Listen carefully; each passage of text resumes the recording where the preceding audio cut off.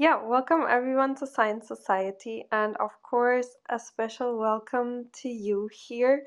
Um, thank you so much for you know joining, making the account, and everything. We really appreciate you taking time out of your busy schedule to do this, and um, so that everyone will uh, get to know you a little bit better. I'll um, give some some background information Mhm. And uh, we'll go from there.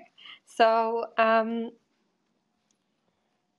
uh, Dr. Gowthami Som- Somepalli, I hope I said that right. Um, she's at the in computer science at the University of Maryland, College Park, and in Professor Tom Goldstein's lab. And um, her re- broader research, um, in her broader research, she focuses um, at the intersection of machine learning and computer vision with the aim of building practical machine learning systems that are interpretable and robust. And um, she has been working on developing novel deep learning architectures for uh, different um, domains, such as um, images, graphs, to um, tables, to tools to explain and analyze the success and failure of models of common deep mo- learning models. And she received uh, different, you know, awards and fellowships, and one of them was the um, Kulkarni Fellowship. Um, and before she started her PhD, she worked in the industry for eight years on various product and engineering roles um, and she received her bachelor's from the IIT in Madras. And um, yeah, and you know, she published various papers in, in, in really great journals. And uh, as I said, she, she presented her work also at Google Research India and received a bunch of um, fellowships. So it's such an honor and pleasure having you here today. And um, Victoria usually asks a few interview questions before we dive deep into your research. Thank you. Yeah, th- thank you so much for the kind introduction. Thank you, Katarina. And once again, Gowthami, thank you so much for joining us. Thank you for friends who are here. And also thank you for friends of the future who will be listening to the replays and all the places that you might find them. So we'd, we'd love to hear a bit more about you before we hear about your research. And what I'm wondering is if you can think of a time in your life when you felt or noticed this spark of interest that drew you towards science. And this can be anywhere in your lifetime, childhood, or anywhere through your education. So thank you. Um, okay, science, science in in general, like uh, so. Uh, I mean, like uh, from from the childhood, like uh, in my family, the we we are very math and uh, science oriented sort of people. Like uh, like my grandfather had like masters in in physics. I mean, like which was kind of very few people had that like back in those days. So um, yeah, I mean, I would say like I have always been interested in science, uh, and uh, uh, like Katrina mentioned, like I did my undergrad in mechanical engineering. Uh, and after that, like I worked in industry for a few years, uh, where I was like not really doing any sort of uh, very hands-on engineering stuff, but I was mostly into management and all. But then I started up, uh, I had a startup and we were like a small team, and that's where I got my hands dirty and uh, got into like computer science and machine learning to uh, like for the first time. And and then that's when I felt like uh, it's it's quite exciting, and I I did not know so much about it. Like I was doing mostly applied stuff at the time, and then I got like very curious about like how these models work and so on. So yeah, after uh, I mean, like we ran the startup for like a few years, and we kind of like wrapped it up. Uh, after that, I felt like um, I mean. Uh, uh, my friends, most of them suggested like, okay, you should be doing MBA at this point. Your profile is perfect for it. But then I felt like, okay, I, I don't feel like I I would be happy doing an MBA. Like I I think like a PhD is something probably uh, which will give me time to understand uh, more about machine learning and deep learning and yeah, that, that's how I landed in like University of Maryland. Um, yeah, doing yeah like uh, deep learning stuff. Thank you. It sounds like you are really comfortable listening to your own your own intuition to where you you want it to go. And then can maybe you can take us on a step by step with big steps um, journey of how you arrived at the current research that you're doing today. Oh yeah, yeah. Um, okay. So, uh, I mean, like, uh, I I would say in the beginning, I was not very sure about like what I what sort of problems I should be working on. Like, uh, if you, if you look at uh, uh, most of the people like uh, who start with PhD, they kind of uh, already come with like certain problems in mind. But uh, for me, like, I I came as like a blank slate, and I was sort of open to any problem which interests me. So yeah i kind of uh, uh, worked with like a few profs and and the good thing about university of maryland is like most of the courses were like um, uh, like project oriented so it gave me an opportunity to work on bunch of projects without uh, i mean having to invest so much time because like uh, they were all mostly group projects. And uh, yeah that kind of got me like i mean i was able to do like a lot of stuff like a few vision projects language projects and so on. But i mostly ended up like I, I guess like a couple of years back um, when I was kind of working on certain models, uh, I realized like reproducibility was sort of an issue. Like I train a model with one seed and then I get like correct answer, uh, correct prediction. Uh, and then next time I kind of train it again and I kind of get wrong prediction. Like there's so much uncertainty involved in, in the deep learning models, right? Like, uh, I mean, there's so many hyperparameters. Like every time you change something, you end up like uh, at a different local minima. So, uh, so that kind of like got me thinking about like okay how can we understand this reproducibility issue so that's where i worked on um, that's what i did for like uh, last year uh, and where, where i published a paper at cvpr uh, where we were trying to understand the reproducibility and quantify the reproducibility in different deep learning architectures. Um, yeah and i kind of so so after that uh, i was kind of working slightly uh, in that area but then diffusion models kind of blew up this year and uh, sorry last year and i i kind of like started reading about them slowly and and then I mean, that everybody mostly focused on trying to improve their diffusion models or like trying to find like this little trick which make them work for like something else. Uh, but at, at the same time, there are like a lot of discussions about like are diffusion models just copying from the training data? Uh, uh, is that why the generations are really good? Like, so this question has been going around, but nobody has an answer for it. So that's when we we thought like uh, my, my advisor and I we were kind of discussing about it. And and then we decided okay fine why don't we like try to answer this question? So yeah that's how I ended up doing this project. And uh, yeah it's been a journey. It's a very interesting project. It's it's technically not a diffusion project. It's actually I would say like uh, uh is a retrieval project. But uh, I but it it um, yeah but we found like very interesting results. Like yeah that's how I ended up with this I hope that answered your question. Oh, it, it did. It did in a very interesting way too. It's it will be interesting to hear about how you quantified your observations. I have a question though. Can you please repeat the last thing that you said? You said that it wasn't really this, it's more of that, and I missed both of those words. Oh, okay. Um, I mean, I was saying it was not exactly like a, a generative modeling project, like, but it's more of a retrieval project that uh, that's what i said. Um, i mean because like uh, we are kind of not training i mean we are training diffusion models technically but we are not trying to improve a diffusion model. We are just using the diffusion model and we are actually using like uh, retrieval methods to understand the replication. So yeah that's what i was trying to say. Okay thank you. I'm glad i asked you because maybe um, somewhere along your discussion you could define the difference between those two examples for our oh. listeners and and um, so, you know, if not now, then whenever it works for you. And at this point, I will hand you the mic and say the stage is yours, and you're welcome to go into your discussion. And Katarina has your PDF uh, pinned. And then at the end of your discussion, we can help with um, you to have a Q&A. And if anybody types any questions to you in the chat, then we'll also share those with you so you don't have that on your mind, just enjoying your talk.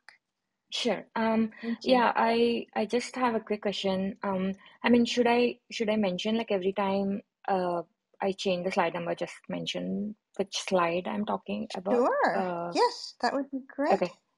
Yeah. Okay. Uh, okay. All right. Uh, so, uh, yeah, just before I get started, like, feel free to interrupt me uh, if somebody has like a burning question or, uh, yeah, if there is any question in the chat as well, like, because I would rather have more sort of a discussion sort of a session rather than like me kind of lecturing people. Okay, got it. I heard you. All right. Cool. Any burning Um, questions? Send them on.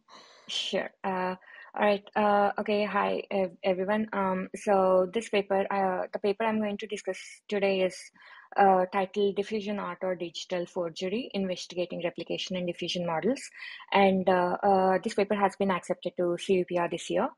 And uh, if you can move to slide number two. Uh, so diffusion models are just just to give like an extremely high level pitch is uh, diffusion models are generative models where you start from a Gaussian noise and uh, and then you go through this diffusion model and you end up with a realistic looking image. And uh, technically, how they train it is uh, there is a forward process and a backward process where in the forward process you start from a realistic a real image and uh, you slowly progressively add some sort of Gaussian noise in every step till uh, till end steps where it ends up looking almost like a isotropic Gaussian noise. And uh, in the reverse process, what happens is we start from this Gaussian noise and try to get the image back. So that's how we train the model. And uh, during the inference, uh, uh we completely forget about the forward step. Uh, we randomly sample uh, a, a, noise from this Gaussian, and and then we kind of like progressively denoise it till we like get a realistic looking image. Yeah. okay. third slide. Um, and uh, I, I would want to just say this. So a perfect generative model should never output a, training sample. So uh, in all the machine learning models or generative models, like what we want the model to do is uh, to produce realistic looking images, but it should not remember the training data. So, uh, I mean, if it's remembering the training data, it's not a very good generalized, um, generalized model. Okay. Um, okay, fourth slide. Um, so I asked this question, um, do you think diffusion models copy? Uh, so fourth slide, short answer is yes. Um, I mean, like I would not be presenting here if they're not copying at all. Uh, so in, in this uh, fifth slide, I show some examples which, which we found uh, in Stable Diffusion 1.4. Uh, where on the first row we see the generations from the stable diffusion where we have provided the caption and uh, on on the second row we see the, the closest looking match in the LAION aesthetics uh, 6 plus train data uh, which sta- stable diffusion is uh, fine-tuned on like in the later stages of the training. Uh, so as you can see uh, all these images whether the all these generation and the match pairs they all sort of exhibit different properties. Like the first first column if you see like only the background is being copied. The, the woman in the picture is completely different. The dress she's wearing is different, but the background is kind of recycled. Similarly, in the second image, we see the couch and the wall is kind of recycled. However, the wall painting has changed. Uh, and in third and fourth columns, we see the image has been reconstructed uh, more or less everywhere, except it's it has reconstructed it poorly uh, by missing out or changing some details. So, um, so these are a few examples we found in our study. And uh, uh, so in sixth slide, okay, what is what do we count as replication?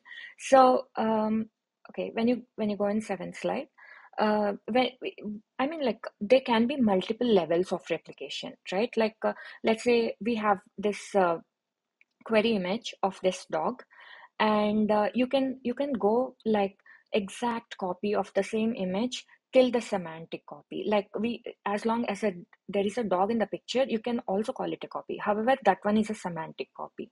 Uh, and on the left end of the spectrum we have perceptual copy where each even pixel level details are exactly the same between the query image and the match image.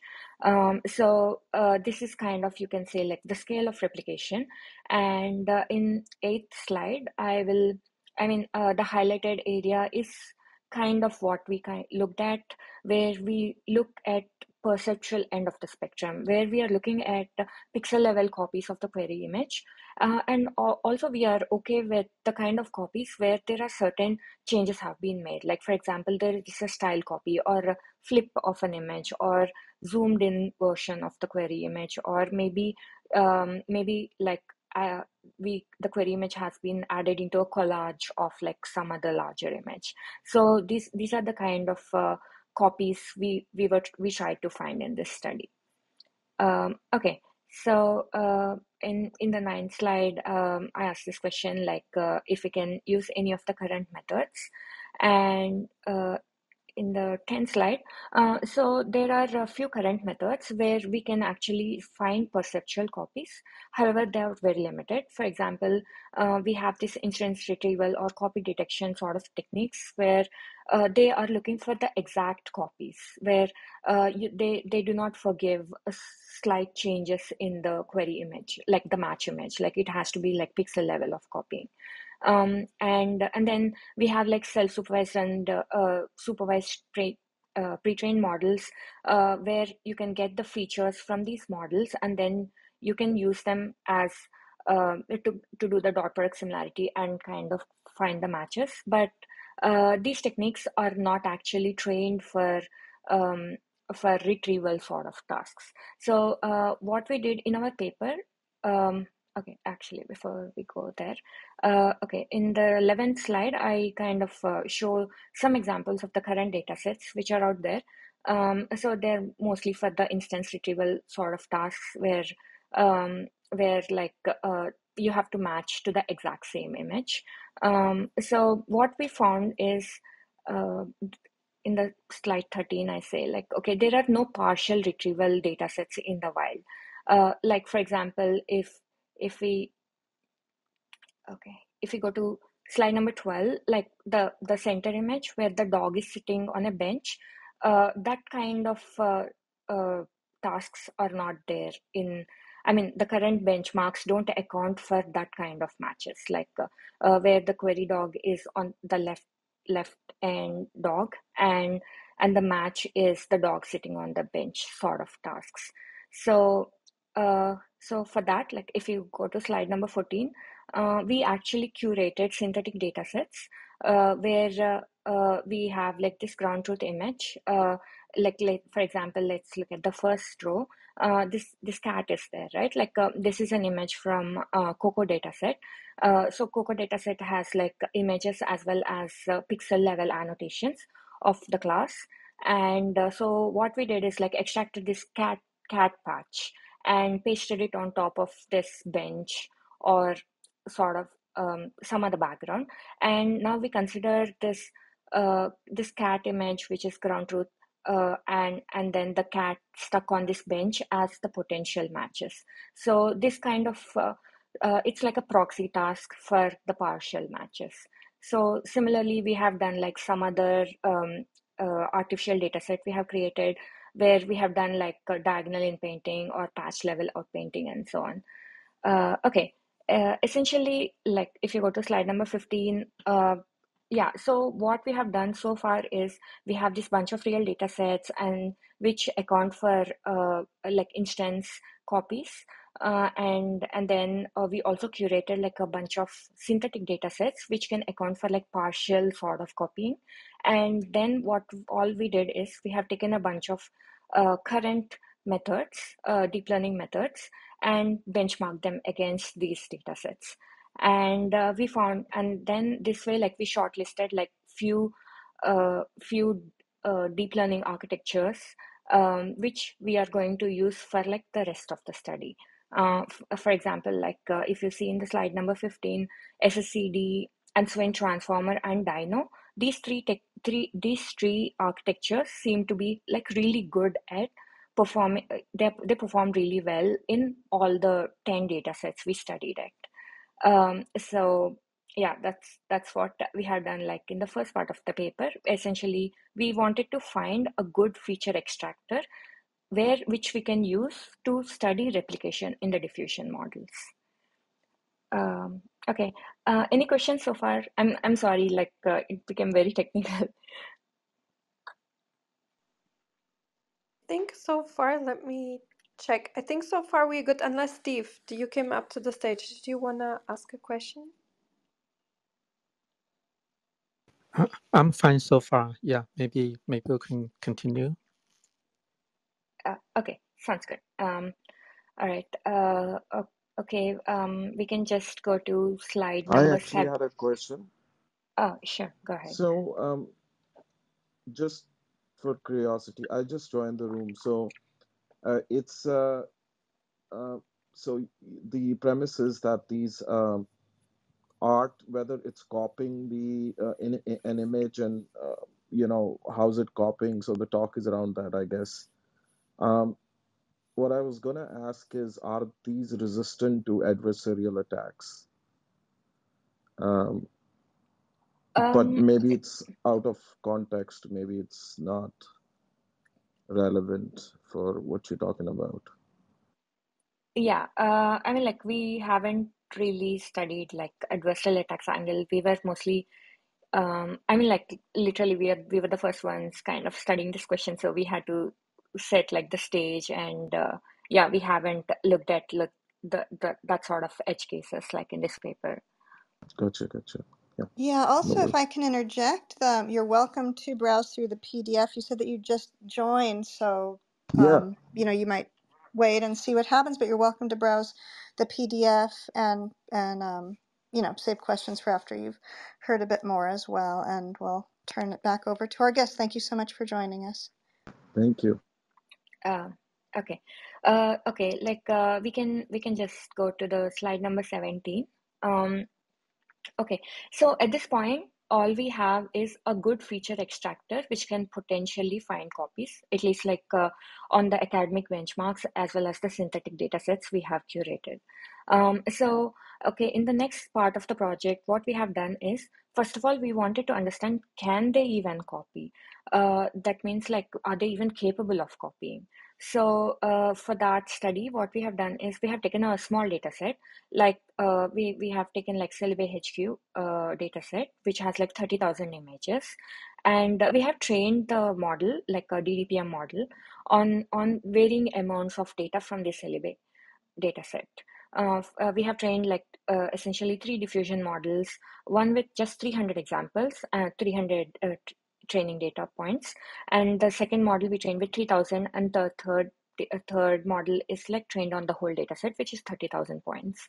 Um, so yeah, if you can uh, go to slide number 18, uh, here we actually present the results uh, for the images generated on each of these three models and their closest matches in the training data. So if you see, like, uh, for, for example, the first row cluster uh, is like the models trained three images from the model trained on 300 images. And if you see the closest matches from using each of these feature extractors like SSCD or Dino or Swin, uh, you we, we are actually able to find exact similar looking images from the training data. And, and then similarly, the second row cluster, uh, the model trained on 3000 images, uh, we, we also observed like there has been blatant copying uh, where the model, uh, like the generations are very, very similar to training data.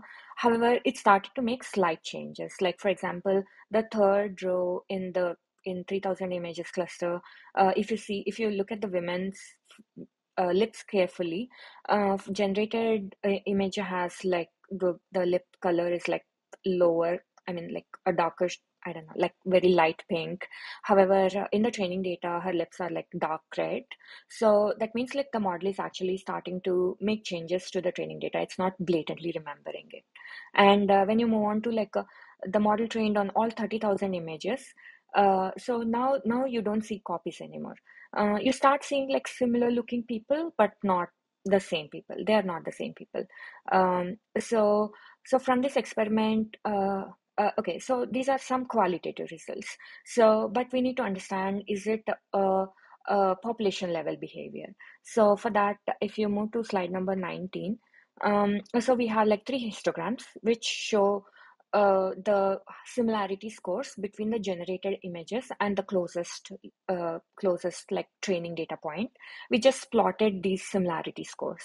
Um, and uh, and and then if you look at the plot number uh, plot A for 300 points, uh, the model trained on 300 points, you see the similarity similarity histogram is like extremely towards right. That means similarity scores are like really high. Uh, that essentially means like the model is copying a lot of images from the training data and then when you when you look at the central center part of the plot with 3000 points here the gray cluster started moving towards the center so that means the model is remembering less and less. And as you look at like uh, all points plot uh, here the the the gray cluster is almost aligned with the green green histogram. So green histogram is nothing but like how how similar the training images are with each other. Uh, so it it it essentially like aligns with uh, the training data. And uh, and and this this kind of says like the amount of copying has completely um, I mean, I wouldn't say disappear, but uh, it has drastically reduced. The most likely, there no copies exist in this third model. Uh, so what what does this tell us? Like, uh, so this kind of tells us like when when a diffusion model has been trained on a really small data set, it is capable of remembering those points. Um, and as you kind of uh, train, start training the model on larger and larger data sets, like it perhaps stops copying. So that's what the conclusion is from this experiment. So uh, if you if you move on to slide number 20, uh, so our next experiment was we tried to understand like, okay, so do diffusion models don't copy on larger data sets? Um, that was the question. So the next best, next bigger model for us is the model trained on ImageNet, which has um, which is trained on thousand classes with a thousand images each. Uh, so uh, it's around like 1 million images the model is trained on. And uh, we, we use like latent diffusion model, uh, off the shelf model. Like uh, we didn't have uh, a capability to train these large models at that time. And if you can go to slide number 21, okay, in this very complicated looking plot, all I was trying to say is like we looked at a lot of classes and and then even the uh, so if you if you look at the left side of the plot the red color thing it's the curtain class it's an image from the curtain class and uh, and the le- the left image is the generation and the right image is the closest image from the training data. And as you can see these two are very similar looking but they're not exactly the same. So uh, at, so we looked at like multiple other classes as well. And what we found out is um, in this model there there is absolutely no copying so um, that means like the model can generalize really well to larger training data.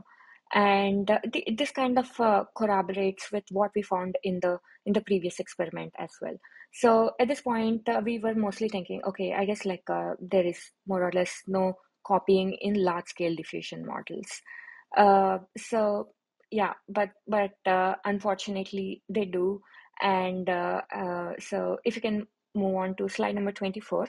Um, so we what we found is uh, uh, after that, after the ImageNet experiment, we have moved on to stable diffusion, and uh, where we we started evaluating whether the copying exists in stable diffusion or not, and we found so many instances of uh, like blatant complete copying or partial copying exists in the in the images generated by stable diffusion. Uh, and uh, okay, and for that, like uh, if you can go to slide number 25, uh, I show the experimental setup here. Uh, so what we have done is uh, we have taken stable diffusion 1.4.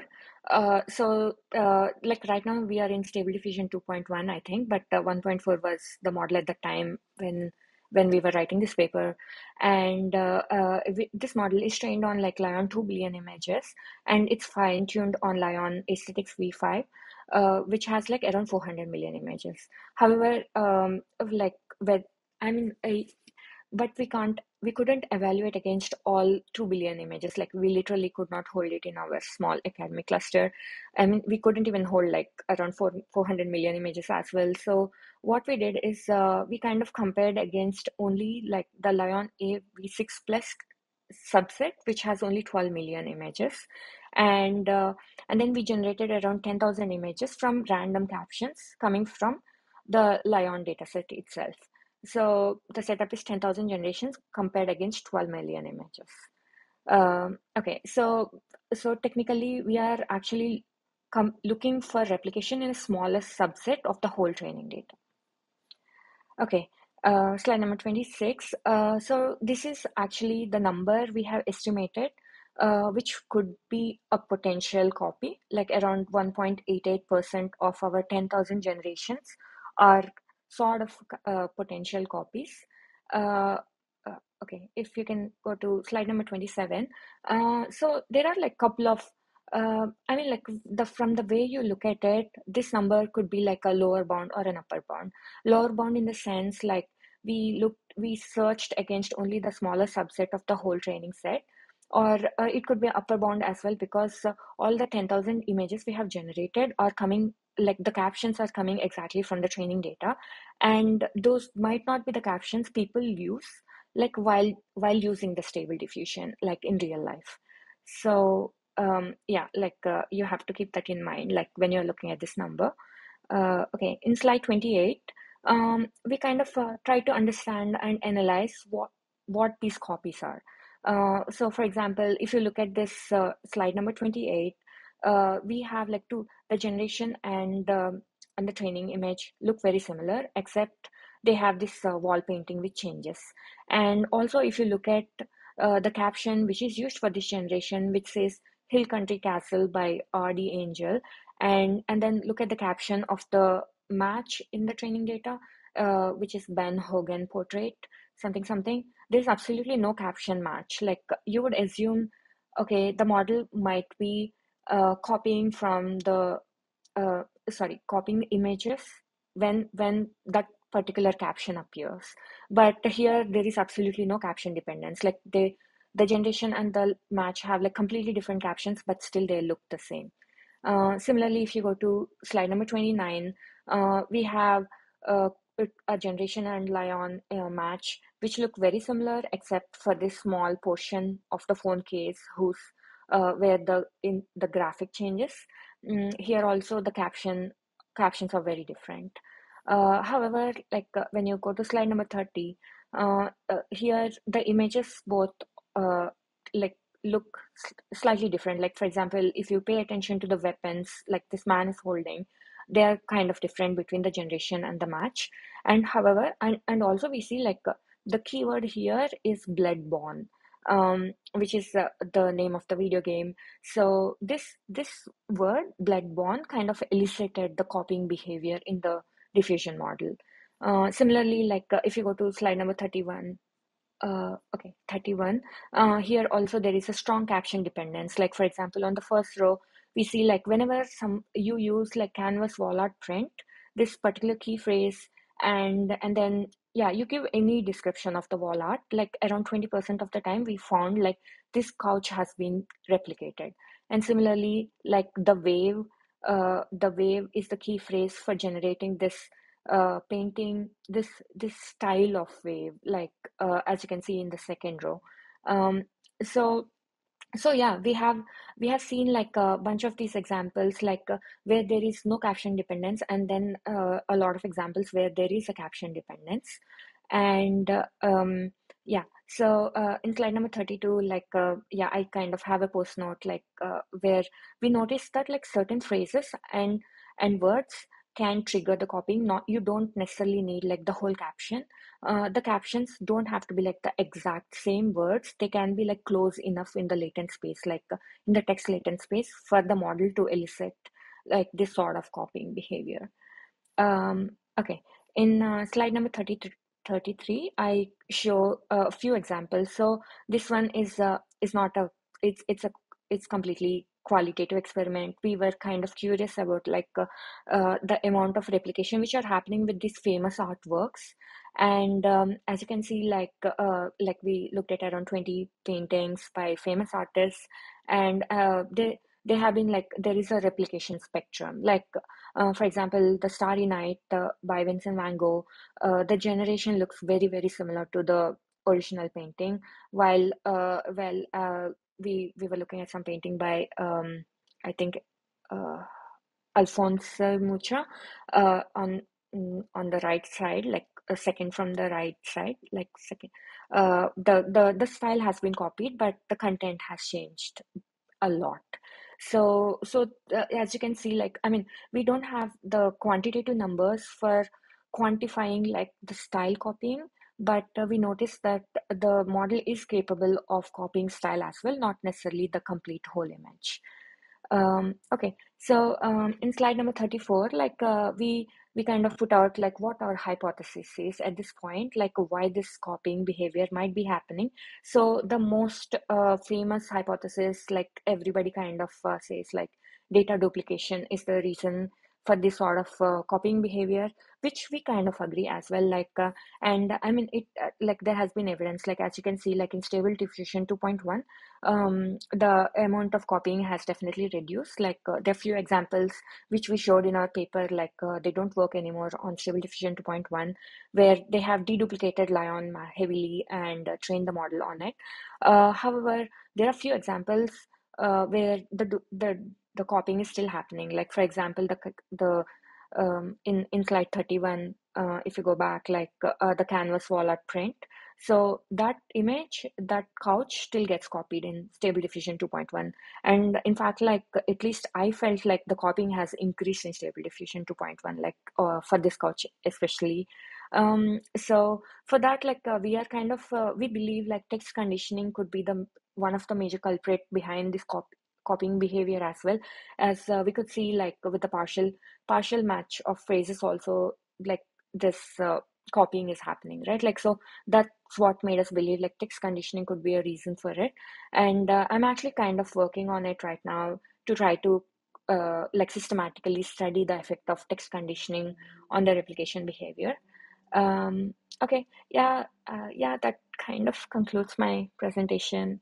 Uh, yeah uh, all right. So, any questions, or if you're unclear about anything, just uh, ask me which slide you want me to go to. I can just go through it again.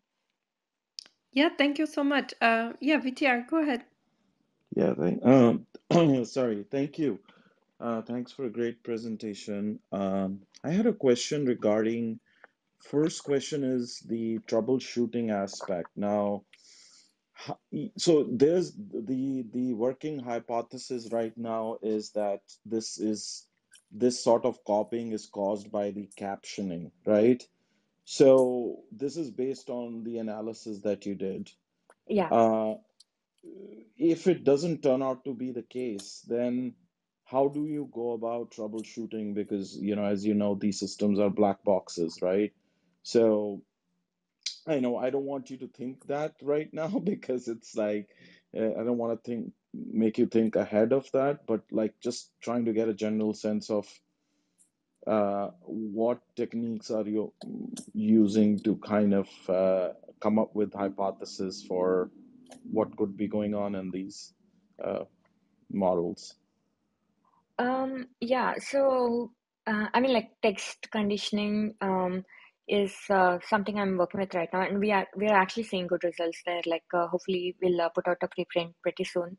Uh, I mean, I don't want to discuss that right now without uh, uh, without putting out a paper first. but um, I mean, like I would say, I mean, so we like like you said. I mean, I wouldn't say these diffusion models are complete black boxes, but we definitely don't know how the text or uh, how the images are kind of interacting with each other. Yeah we understand they're doing via cross attention but we don't know like uh, exactly what is causing the replication behavior like um, like you said.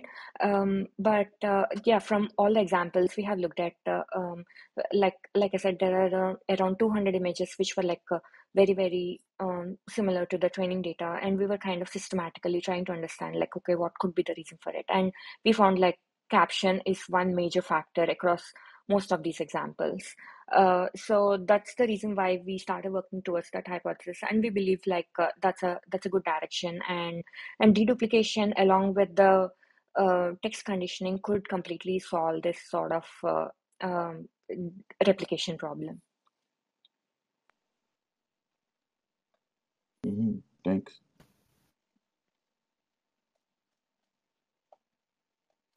Yeah, uh, Steve, do you have a question now? Please Yeah, I think maybe I have two questions.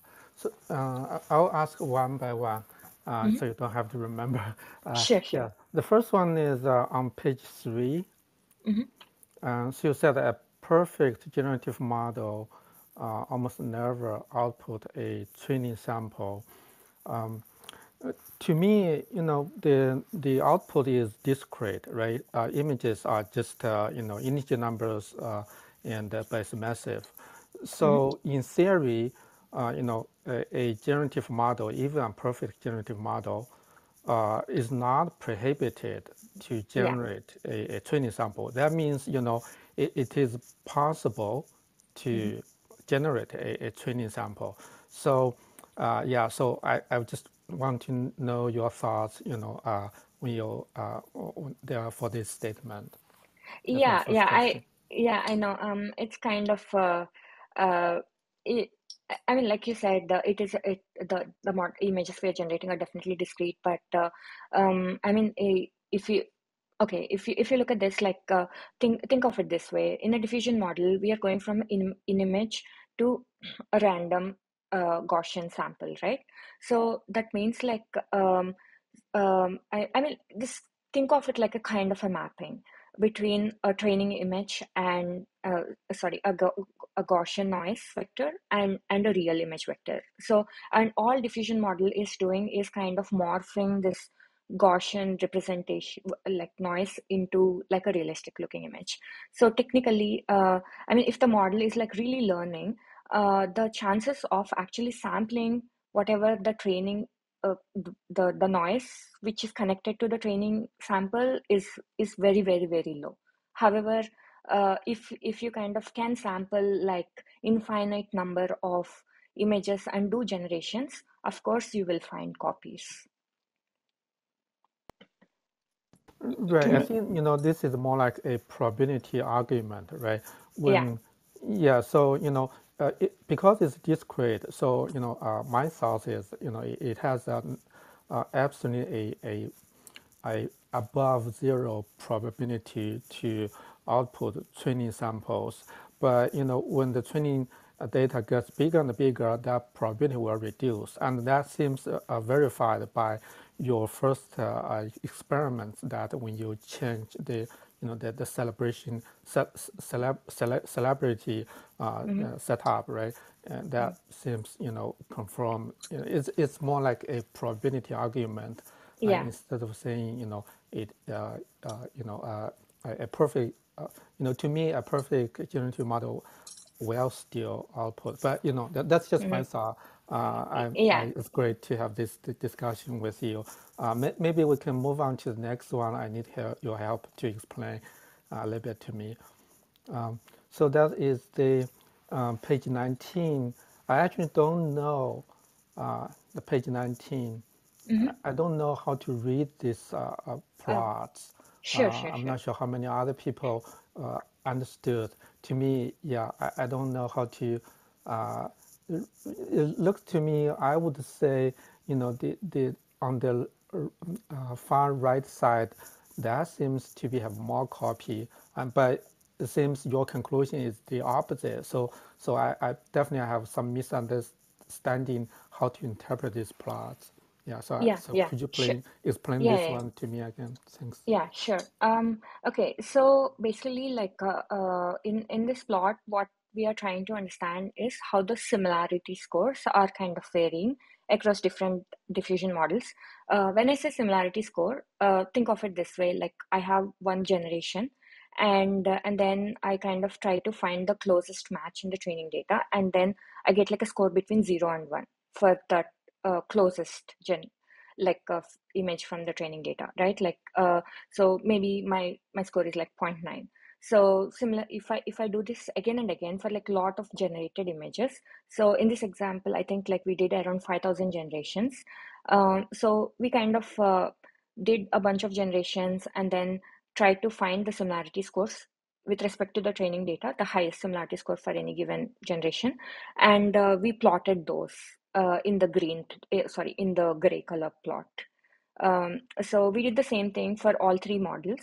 And uh, so uh, for 300 points model, uh, most of the similarity scores are to the right side. That means they're very, very similar to the one one training example.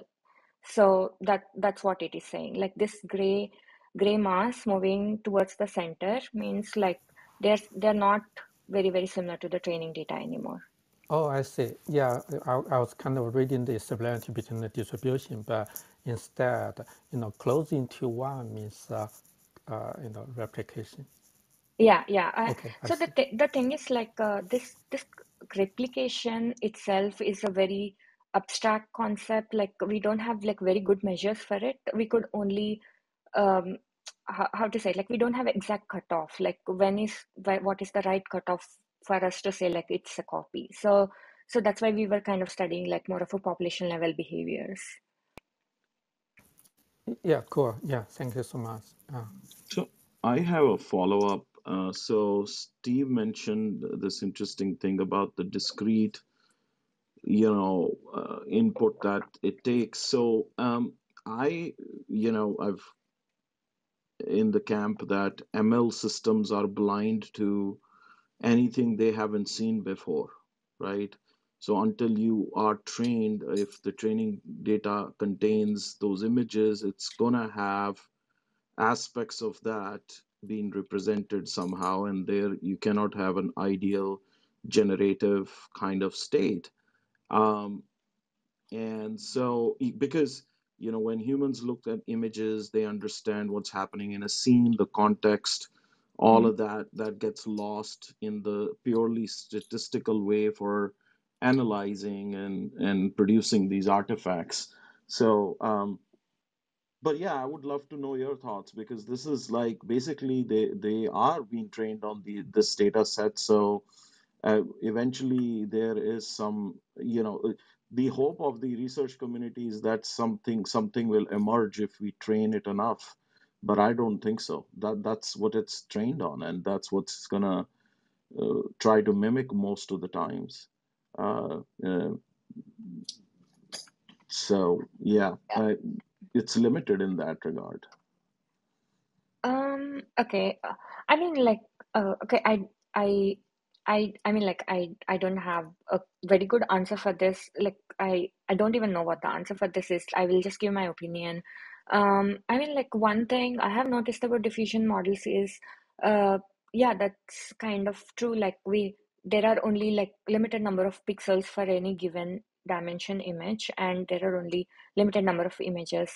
Uh, and if you have large enough data set, like perhaps there might be some sort of copying. Uh, but but what I have observed is like there have been um, so so for example if you take the DDIM model you can actually trace back like uh, you can get the noise uh, for any given image as well like and then when you do interpolation between like uh, let's say two realistic images corresponding noise vectors of two realistic image looking images uh, and and they're really interpolating really well. That means like uh, even though the points on this line even though the model has never seen them before but but it's it's able to like interpolate well or actually understand the image space well at least well compared to like the previous generation of generative models.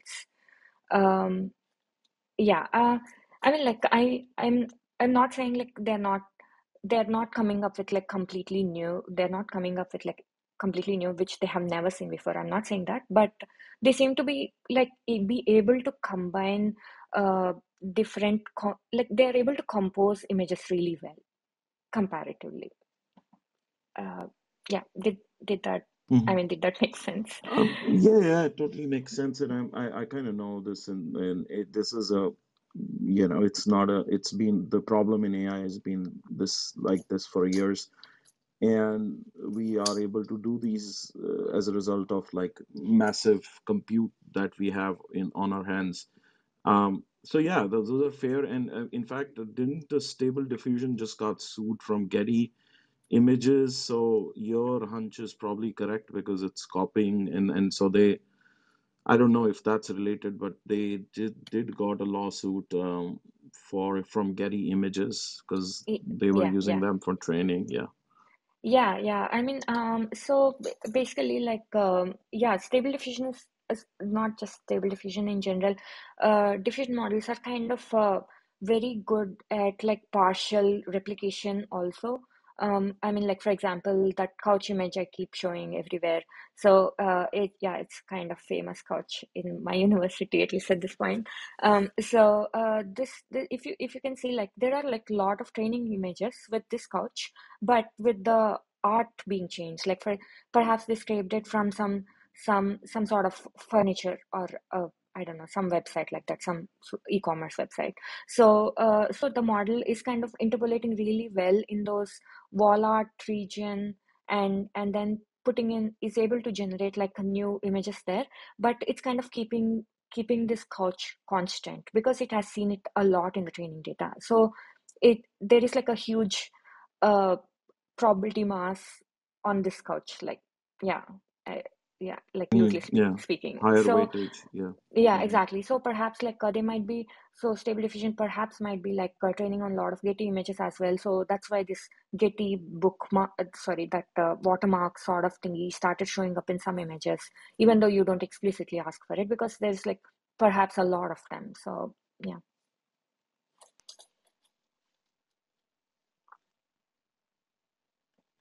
Yeah, thank you so much for those questions. Um, there was a question in the chat from Sal uh, Zomo. He asked, "Are you developing a tool a tool for identifying copies?"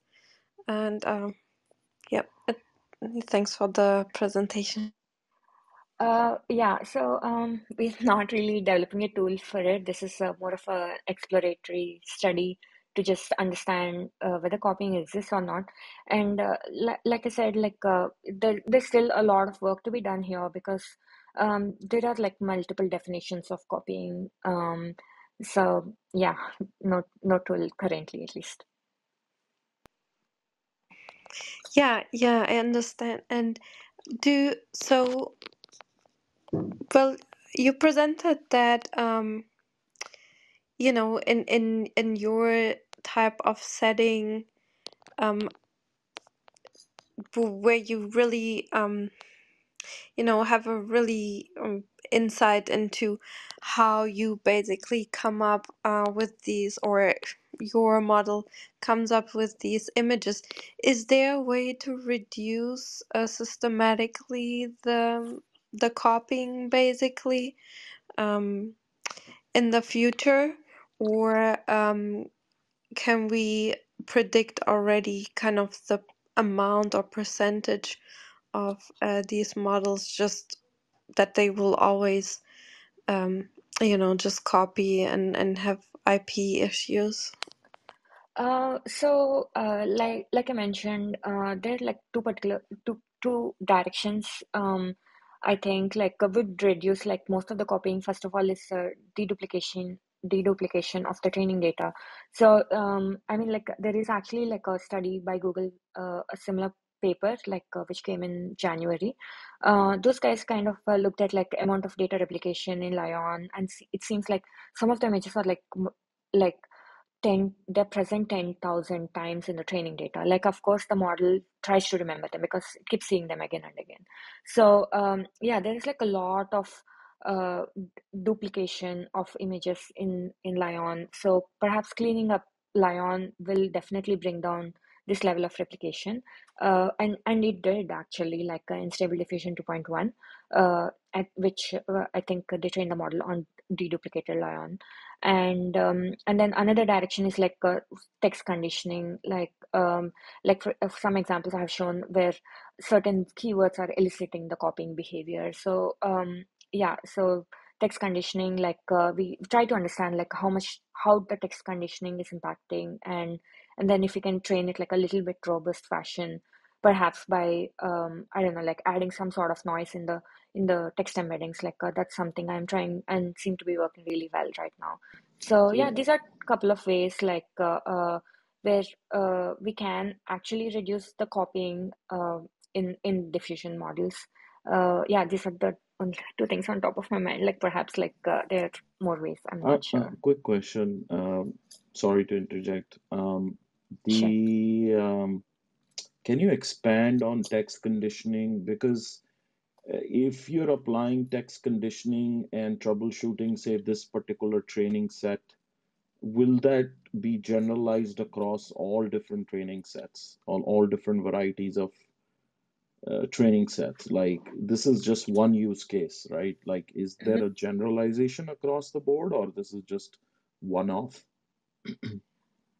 Um, okay. Uh, so okay, l let me put it this way. So the if you if you train a diffusion model, um, per perhaps like uh, well, like like I, I have showed like in my presentation, ImageNet, uh, which is like class conditional, and uh, uh, so the amount of copying there is like very very low. Um, so uh, however, the stable diffusion is actually text conditioning model, like where you have like this CLIP CLIP uh, which is giving out this text vector, and then we are kind of conditioning uh, the generation using that, right? Like so. Uh, yeah, they're like slightly different methods, and we feel like text conditioning could be like one of the big bigger culprits, which is responsible for the replication. Uh, but uh, I, I, I mean, I would, I would say like, um, yeah, data duplication will completely solve class conditional or or no conditioning sort of diffusion models. For text conditioned diffusion models, like uh, uh, like some more a little bit augmentations in the text conditioning or sort of things might uh, alleviate this issue, like on top of deduplication. Mhm. So, so, so you um, uh, you envision the it would generalize across different uh, data sets and um, the or diffusion will handle data sets with less duplication with Yeah, with test. yeah. Yeah, L- okay, okay. yeah, perceptual copying will de definitely disappear. Uh, uh, but uh, but there's still this issue of style copying, and uh, studying style is a very very hard problem. And uh, yeah, I'm like we just started looking at it. Uh, but I would say like uh, it's it's more of a a subjective matter rather than an objective Mm-hmm. matter, like perceptual copying. So um, yeah, I I I don't think like s- s- they, they the models might might still copy style, but but the perceptual copying will will go away, like uh, with few of these techniques, Mm-hmm. most likely in future. Thank you. So does the copying just like how um the same is the copied image or text? Is it, you know, are there maybe like 10 pixels off and the for the model it's not a copy and it's just for our like what's the percentage of overlap or and isn't there just a way to just um say, you know, to um write it the to delete um images that are you know up to i don't know uh, Mhm. 50% of pixels the same or something like that because in language models you can do that right you can uh, say ignore double words that come like as close as uh, after each 10th word or so or after each third word you know that that the model should just ignore the same word if they come let's say in a frequency of uh, 1 out of 10 or and so on Um, so so the thing is like uh, um, uh, the images are not actually that straightforward. Uh, I mean, like uh, if you if you if you take an image and and then just shift it by one column, like the first column, just shift it. And then if you look at the L2 distance, it will be like huge. So, uh, and and L2 is technically the best perceptual measure out there if you if you want to look at like pixel level copying. Uh, but uh, uh, they, but like recently, like deep learning models, you can you can look at like uh, using one of these feature extractors coming out of like some of these SSL techniques uh, and then people kind of uh, use dot product similarity to see like how similar or different the images are. And uh, actually LAION um sorry the stable diffusion people like i think that's how they do deduplicated. They looked at like dot product similarity between like bunch of training data points and removed like similar looking images.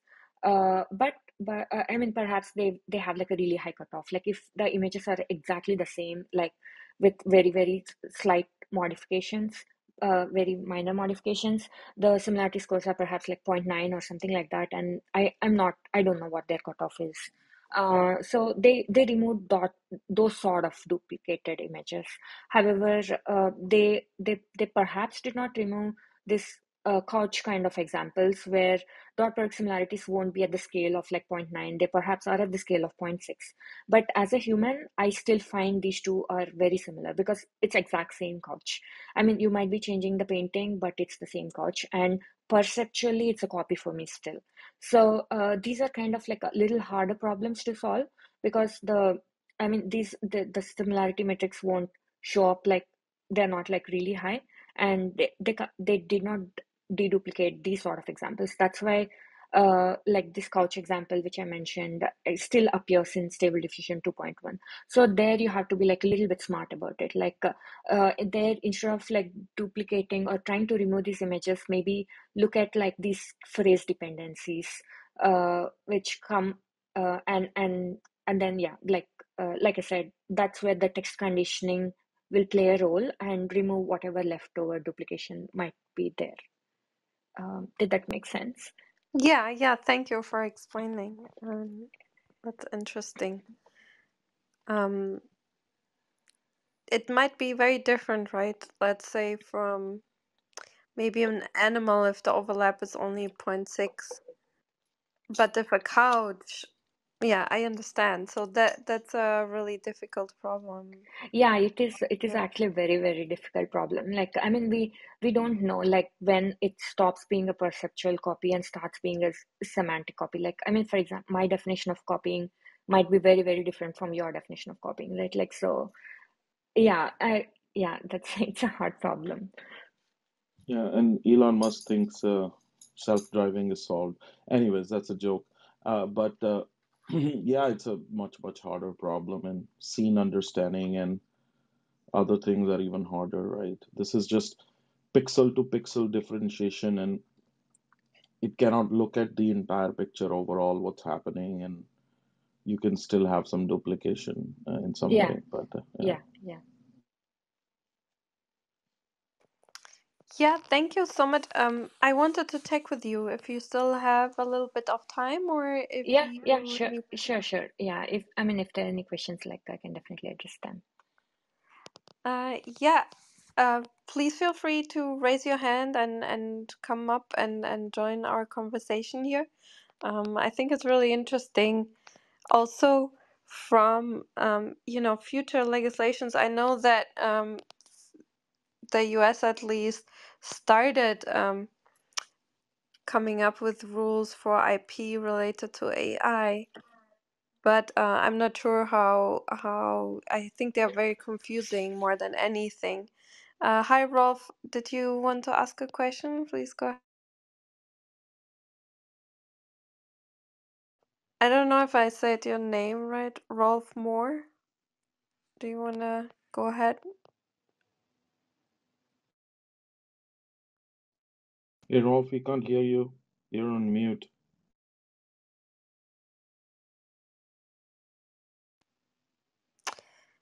Uh, yeah. If if it doesn't work, you could uh, share the, your question also in the chat. But we'll wait um until you can. Um, Are you yeah. talking to Now, me? yeah. Oh, Now we can hear you. ah, sorry about that. I, I couldn't hear you at all. Something went wrong. Now I can hear. So. Uh, just saying hello. I, I missed the talk, but uh, just here to listen. Could, could I ask who gave the presentation of the document that's being shared? Is it Yeah. Um, Gowthami. Um, she she shared the talk here. Um, and yeah, okay? feel free to open up the document and check out the paper. It's in the chat also. Yeah, I've been reading through it, but it's it's a bit hard without any context. Obviously, it sort of feels like just visual aid towards something that was more in depth, probably explanation. So, but I'm going to listen to the replay to uh, re- review it properly. Yeah, thanks. Is is there any Yeah. way maybe uh, it could be summarised your conclusion? Because I caught the tail end of your conversation. I heard that you were saying that. Um, in your opinion, Gowthami, that you think there is copying involved, and the document. I, I noticed one little slide mentions a small percentage, one point something, is is considered copying. And what is there a summary, or what do you guys think is a consensus in the room? Um, yeah, I I mean like from our studies, like uh, yeah, around 1.88% of the examples we looked at uh, were are potential copies. Like like I said, like they um, I mean they don't strictly follow the definition of complete image copying. Um, so, but uh, however, uh, yeah, that number might be like uh, might have gone down like by a lot. Like uh, in, I mean, like we have studied like stable diffusion 1.4, but uh, uh, in stable diffusion 2.1, um, they have trained with like a lot of deduplication of the training data. So perhaps this number uh, could be even smaller in the newer model. Um, yeah. So is part of the context. I think you might have mentioned there are sort of lawsuits happening in the US. Is part of the conversation in relation to that uh, debate? Um, sorry, I didn't catch your question. So I'm sure you know that there are various lawsuits happening Mm-hmm. regarding, you know, whether whether copyright is being breached and so on. And so I'm wondering if this topic of conversation is, is due to those discussions or debates, uh, people having different opinions about whether this constitutes copying of, or copyright violation. Is that the context Uh, here, or yeah, it, I mean, like we kind of started studying it before all this lawsuit stuff. So, yeah, um, yeah. so from your point of view, it's more of an academic exercise for the sake of its, for just for the sake of knowledge and understanding to say, Yeah, do we conceive of these as copying or not? Okay, okay, that, that yeah, it's it's completely ac academic thing, like hmm um, yeah, hmm not related to law lawsuit. Okay, so it so the biggest picture to me, the one the, the one statement that the source summarizes it in a way would be without the data set, the output images could not be generated. Uh, to me, that's the biggest sort of big picture summary of the of the condition. So, so, so those who would argue it's a, it's can constitute a new creation, I might argue against that and say you can't consider it a, a new creation if you could never have been created without the source material. hmm Uh, w- w- do you have any opinion on that? Uh, no, I I mean like uh, I I don't have any opinion on that. And this paper is uh, yeah, it's not we we are not like trying to make any statement right. about whether the models copy or not. We are just trying Mm, to like see if they are actually any copies and try to quantify them in some way. Okay. And and uh, like I said, like there's so many issues with like first of all, uh, like defining what it means to be a copy. It's Yeah. it's a very very hard problem, and Mm, and my definition of copying and your definition of copying could be completely different. So yeah, in in if you look at our paper, like we kind of uh, dedicated a tiny section trying to explain what we mean by copying and what falls under our definition of copying, and then try to like quantify it. Right. Yeah. Caught again. Caught a tail end of that uh, discussion here as well. So interesting. hmm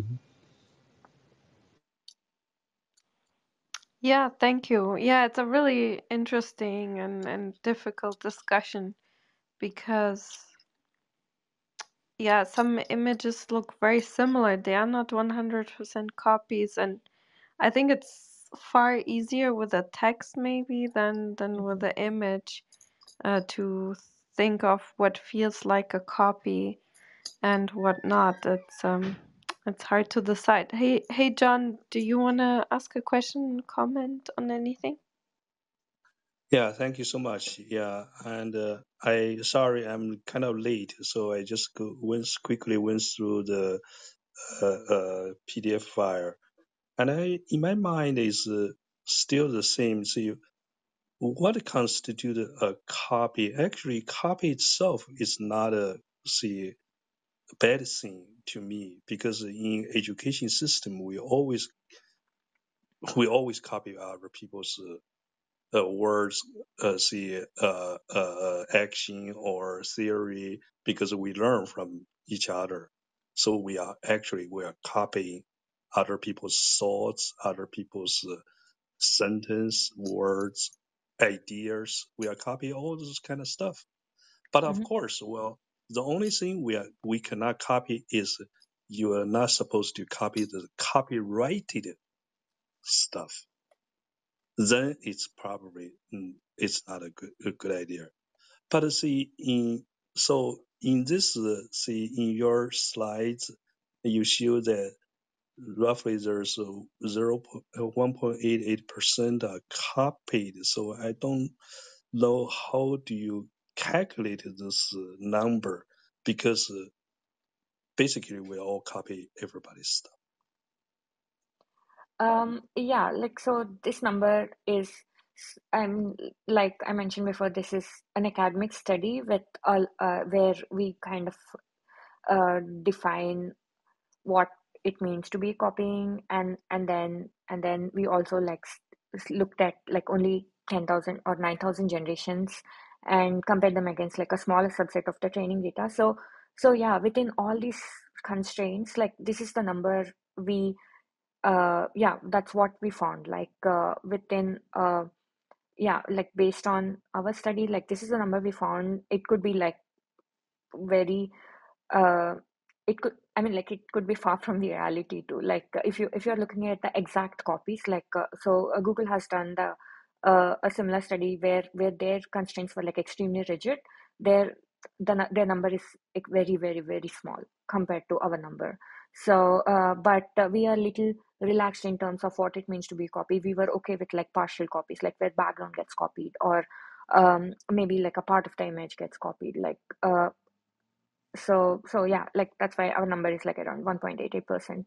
So um yeah that's that's how we came up with the number. Like if you look at the paper we clearly mentioned like what is our setting and how we are like measuring the copy and how how we came up with this number. Yeah, that should be fine as long as you define it. I think, John, um, what you you mentioned that okay, humans copy, we all get inspired, but then the problem comes is with copyright, right? You can't. Uh, we already see these lawsuits happening.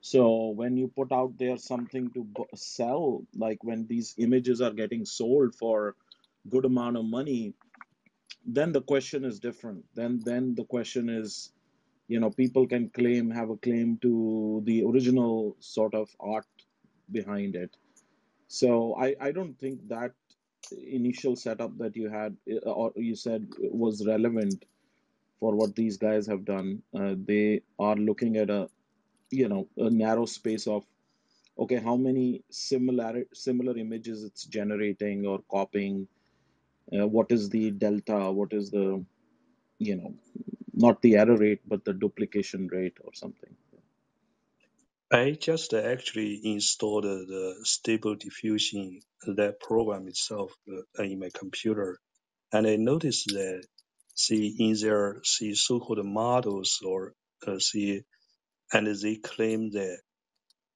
all the pictures in the models are see free to use. They are not copyrighted. Yeah, but somebody used Getty Images. That's not the, I mean, I don't even know the details of that, but uh, yeah, somebody did get sued. I, I don't know who, but uh, can try to investigate if you want. There are multiple lawsuits. One of um, uh, one of my friends is involved in one of the class action lawsuits. She's an artist, and um, many artists found their work showing up in the in these models that have been trained on their own artwork. So they requested to be removed. So and they can do that. The the, uh, the companies that do the models can basically allow you to opt out, which shows that's kind of a paper trail right there that they did get their data without requesting permission. One of the other sort of things that has happened, and I'm not sure which company specifically, the ones I'm most aware of are Midjourney and Stable Diffusion. But uh, as far as I know, um, at least one of these companies acquired their original data set from a, a third party. So a European, I think German based research company already did the, the scraping of the web. which they were totally legal to do as a research company because there would be there's no copyright violation if you're using data for research purposes under probably European law. But then they went and sold it for money to the AI company, and then the AI company is now prof- profiting for, from that data set. So that's where it gets murky, and part of the lawsuit is addressing that chain of title, as it were, you know, via a third party. So there appears to be a potential violation there. But not everybody's doing the same thing. Uh, Adobe has just announced their AI uh, um, application, which they say is all uh, properly acquired data sets that are the copyright is valid. And uh, there's another partnership with NVIDIA and Shutterstock. Shutterstock is saying, well, these are all approved images for this project. So I think we're going to see a rapid uh, transformation where, where more and more companies are going to be much more diligent about where they acquire the data sets and make sure there is valid uh, sign off that, that they would be then copyright free for the users. So yeah, they have I think to. we're in a transition Yeah. period. Yep, they have to. Yeah, Thanks I agree. that. I agree. They should. Yeah.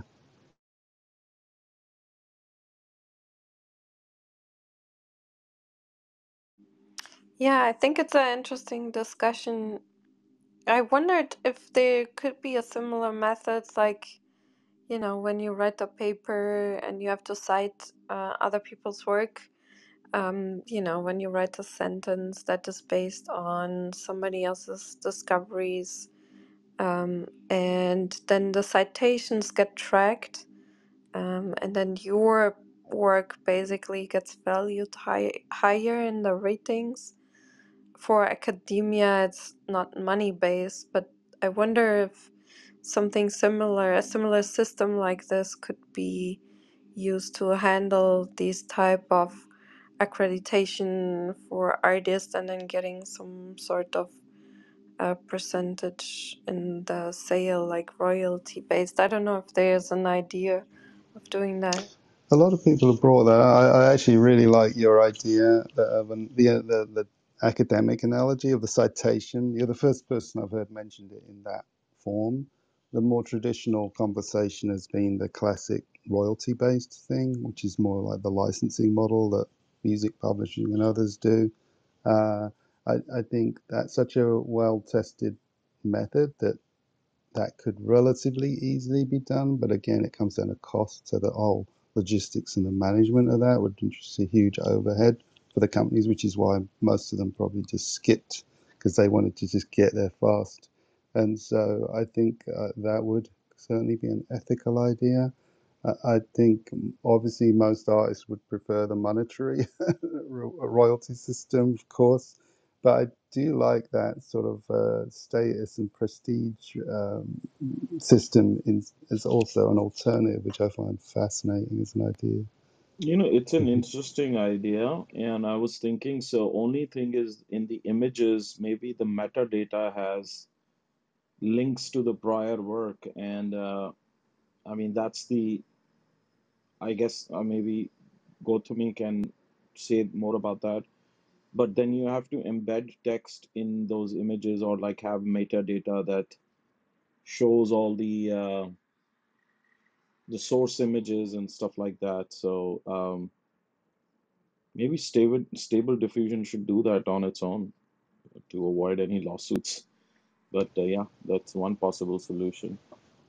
Um, well, one thing I think Stable Diffusion can't avoid the lawsuits. They're already in progress, so they're going to have to deal with it one way or another. That's the first point.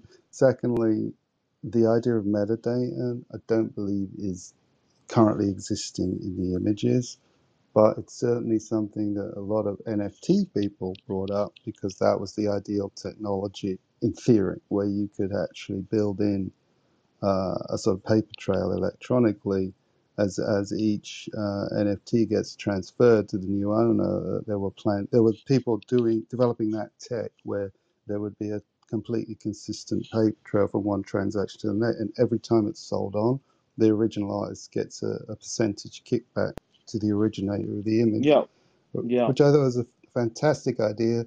Nobody's really run with No, it, there is, and there nobody's is, really come. there are a couple. I, Oh well, yeah, go ahead. sorry, I interview a few companies and they they have that uh, uh, exactly same uh, uh, royalties uh, issued.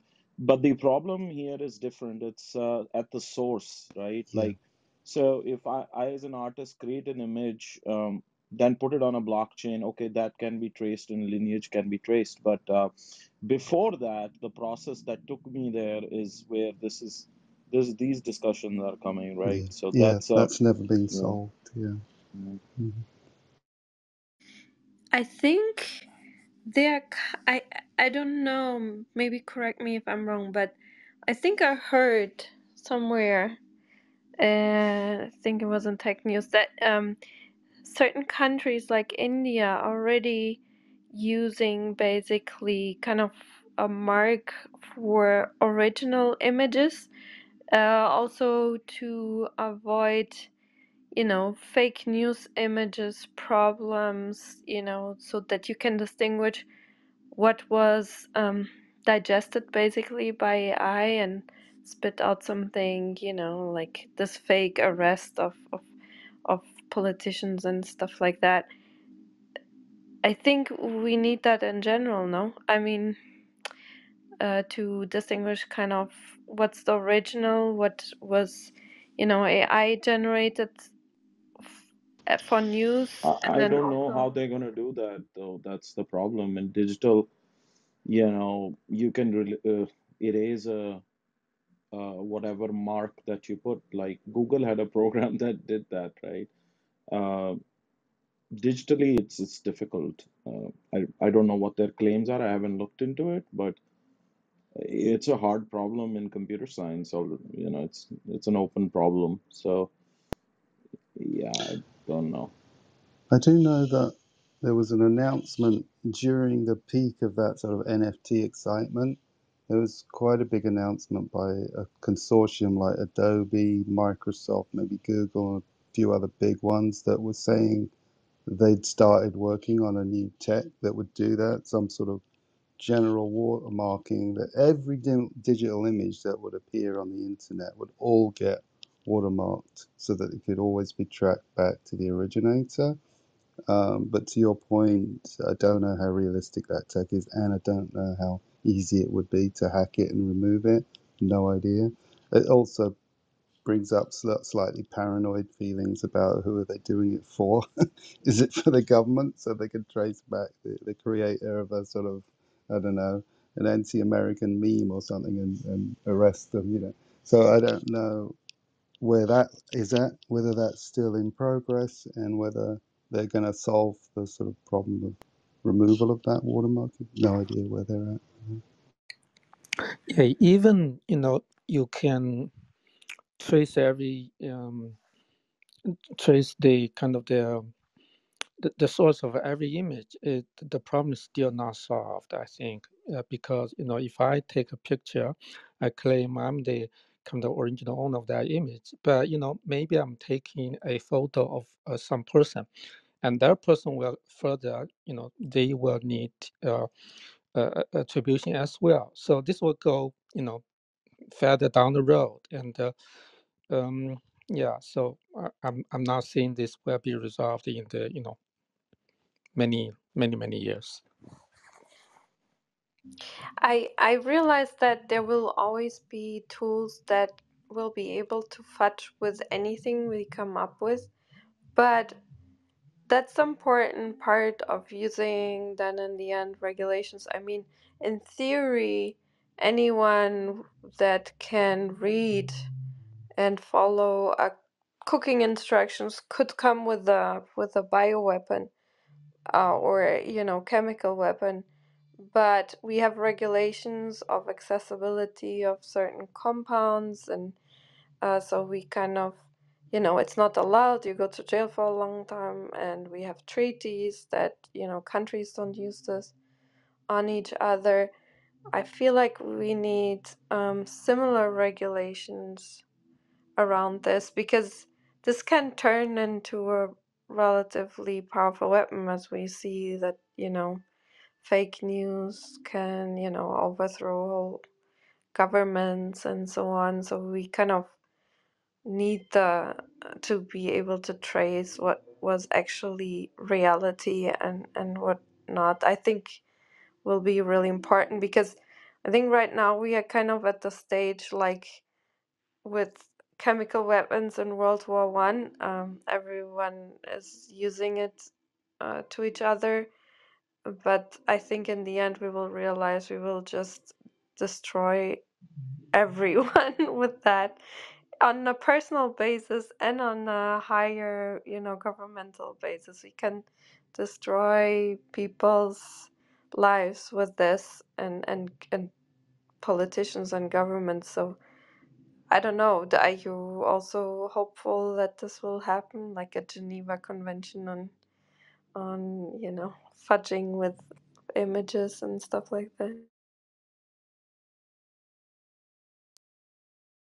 I personally am not very optimistic about any of these things because, I mean, even in, in areas of human activity where these things really, really matter, like the Geneva Conventions, all the nations have broken those conventions and flouted those laws, unfortunately. So when it comes to something as relatively trivial as, you know, authorship of an image uh, where no lives are being directly threatened, uh, I, I don't see a huge motivation for governments to put a lot of resources into it. I do know there are some existing structures in place, like the, the SEC, for example, the ones who monitor crypto and money laundering and stuff like that. So some of those people are sort of interested in stuff like the NFTs being tracked and so on, but there's not a high enough level of interest, I think, to engage in a, a large amount of policing. I think the first part of your comment maybe was more interesting to me, which is more about if society opts in to a, a consensus where we all agree on an ethical way to behave. So if we all said we should all just be fine with the idea of image images being tracked to their author, and then if we're all on board with that, then you'd you'd want to encourage the bigger companies to work within that framework. And if we all sort of sign up to that system, one, it will enable funds or royalties to get back to all legitimate people who sign on to this system, you know. And then uh, the the companies, the big companies like Adobe, who adopt that standard, would then encourage users to participate. Whereas, say with with with NFTs, there was so little protections that it created a huge backlash. Uh, Whereas, and even now, AI is creating a backlash. So it's in the interest of big companies to say we are taking measures to be ethical and to protect artists.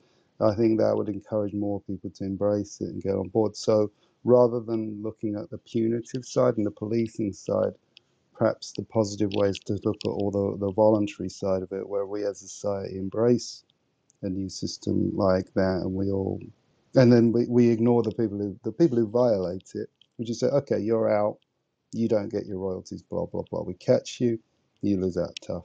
So maybe it's as simple as that. You know, I don't know. I mean, but right now it doesn't look like it's heading in that direction. It looks like it's heading more in a classic corporate direction where huge mega companies can acquire vast amounts of data very cheaply and then sell those as big package deals to their partners. It does not look like it's heading in a direction where individual creators will get royalties. That said, all that can change very quickly. These big companies could build their own system. I think that's what one of you was saying. Stable Diffusion should build that into their system. They should offer that royalty system, which I think would be really smart. The first one that does that, I think, will become really popular. And talking of which, on the gaming side, Epic Games has just announced using their Fortnite game, where you can now build your own content but actually get paid. So now you're not only playing, you're paying to play the game, which is well, you, you only pay for upgrades. You get you play the game free, but now if you create content, you could actually be a seller. So I think it we're going to see more of that where big companies benefit from encouraging a sort of marketplace within their uh, ecosystem. So lots of possibilities. Yeah, thank you. Uh, and and Brian, welcome. Thanks for coming. Uh, I know it's kind of um, in your uh, area of expertise. So, um, do you have any comments, questions?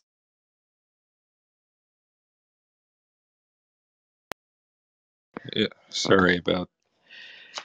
I'm a little rusty. I haven't been been in in the room in a while, but I this is definitely something in my uh, wheelhouse as recent as uh, I think it was Wed yeah Wednesday we had a um, all faculty uh, meeting around AI and uh, as far as art and design education. I'm a professional uh, industrial designer, specifically automotive designer, and um, back teaching at the collegiate level back at my alma mater here in Detroit, uh, CCS, or College for Creative Studies, and and um, I don't know if we really came to like you know like you know a, a solution, but just hearing, I mean, it was a huge Zoom call. It was a school wide um, uh, meeting, and forgive me, um,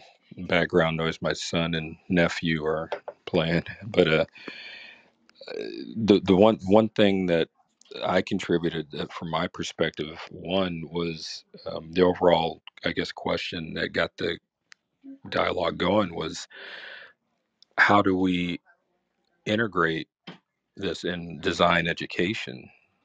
Um, for regardless of you know whatever major you know whether it's fine arts or ceramics or you know uh, industrial design um, but how do we integrate it? Do we integrate it? Um, do we ignore it? Um, and for me hearing one instructor how she's already integrated it into her class uh, ai and and you know midjourney and DALL-E and gosh what you know chat gpt or whatever but uh, she requires the students to uh, provide in the research phase of whatever um, uh, the project or assignment is all the prompts and uh, basically lay out everything so she can track it. And then uh, when it comes to the student generating their original work it is not allowed. And i and i i was curious how you even track that but two two things that um, came to mind for me was a have they asked the students have we asked the kids or the younger you know students what are their thoughts on it? We're at this other side as educators and then two since we're at the collegiate level and we're basically prepping the students to get into the professional art and design world um, have we gotten any feedback on the other side on the company side on corporations or clients or customers and how would that impact? And then the last thing somebody brought up um, was that ethics can't be taught or excuse me can can ai can that be you know is ethics and morality what's right and wrong? Can that be um, uh, is that something that can be learned? Is that on us as educators or as adults or whatnot to um, uh, teach? And do we actually need a um, a collegiate level course or maybe even further down the pipeline maybe in grade school or elementary school? So um, yeah.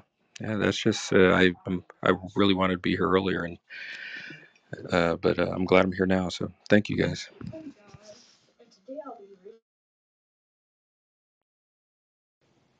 I think the ethics one is has got to be the most thorny one of all. It's been written about in sites. Uh, by the way, uh, nice to see you again, Brian. I remember we, we ran into each other a while ago on here, fellow designers. oh And yeah uh, yeah, I, I I used to dream of being an automotive designer as well. When I was doing my architecture degree, I actually told my professor that, and he said, "Oh, really? Well, let's let's arrange a trip to the Ford Design Center." And that was very kind of him. So that was really cool. But in the end, I I didn't pursue that, but I don't know. I love it. So anyway, uh, I'm sort of somewhat jealous of your job, suffice to say. But I've been enjoying doing video games and world creation, all that stuff. But back to ethics, I'm, I'm also a big sci-fi, you know, person. So I've been reading science fiction projections of the future, and of course going all the way back to Asimov's I, Robots, and his series of all these different robot stories, all delving into the ethics of AI, consciousness and morality, and all the rest of it. It's been discussed so so long by humans, and we're sort of now reaching the point where it's becoming something we have to grapple with. And I don't know if we'll ever solve it. I mean, one of the first problems I'm seeing with morale, trying to build morality into AI, is it's so clunky. Uh, the, the first little example I ran into was I I tried to ask the AI to write me a little scenario. I had an idea for a story, sort of detective story, and I said, it's going to begin with finding a dead woman in a hotel room, and it immediately couldn't get past that. It just said, no, I can't do anything that, that conveys harm to a minority. And I said, wait, uh, wait, females are a minority, aren't they? Something like 50.1% of the population. They said, well, people who are sort of oppressed and marginalized would count as a, as a minority. And said, okay, so I can't include over half the population here in, in this scenario.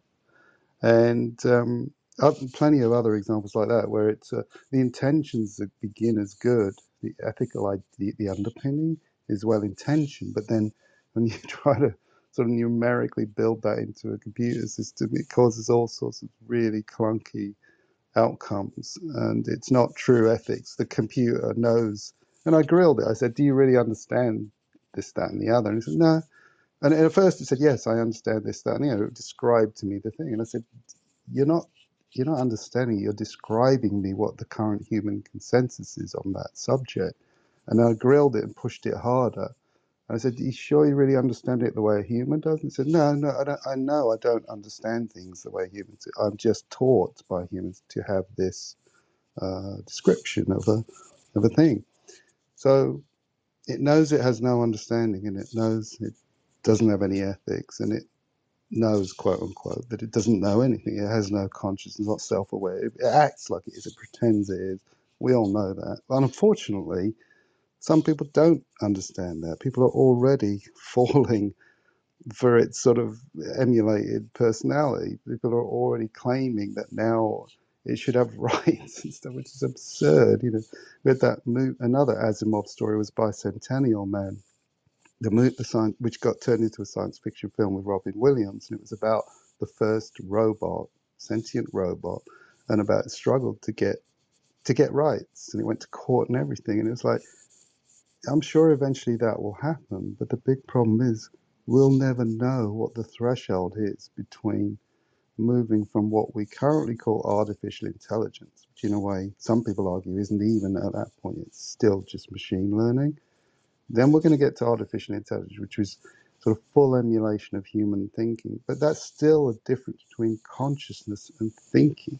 When do we get to the point of actual consciousness? And in my opinion, no one will ever really know. It doesn't matter how well a computer can convince you it is conscious, it is ultimately emulating that idea. And that's going to be hotly debated, and that debate, unfortunately, has already begun. Way, way too early to be having that debate.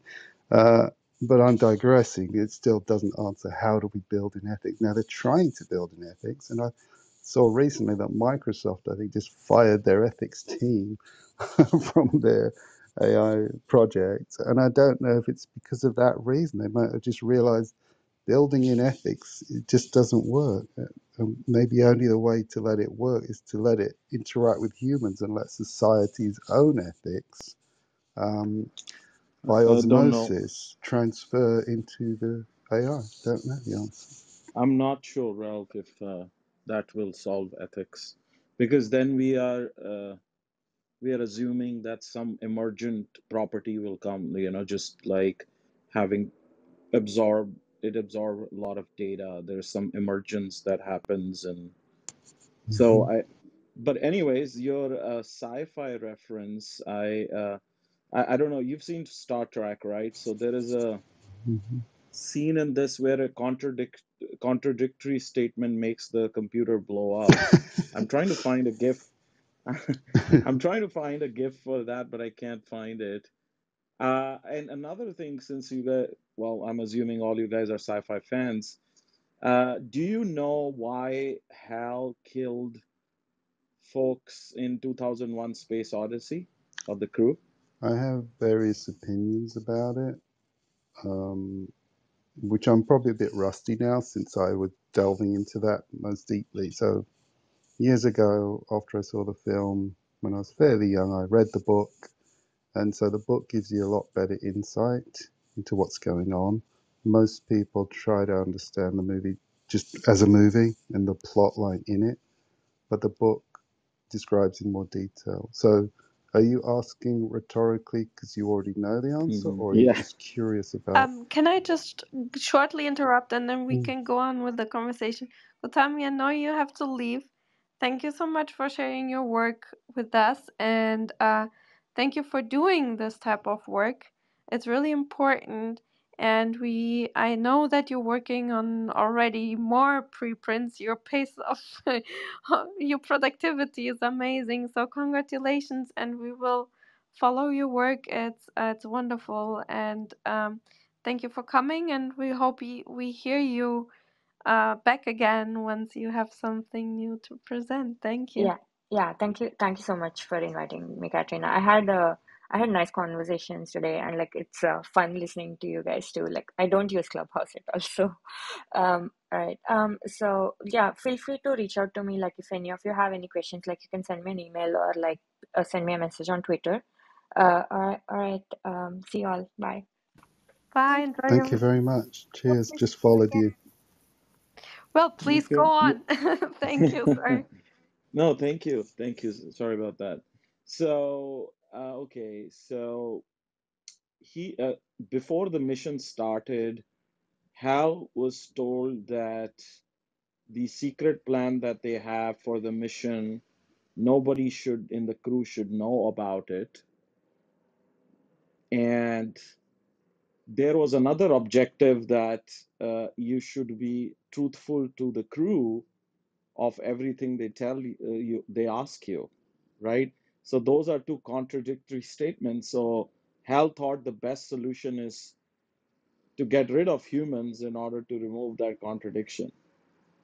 So that's how I remember it. I might be something else in the book, Ralph, you can Well, share. that that is the gist of it. Um, there's a slightly more, there's a little bit more of a plot point in the process. So, what Hal ended up doing was it found itself in conflict uh, with its mission objectives, which is what you just described.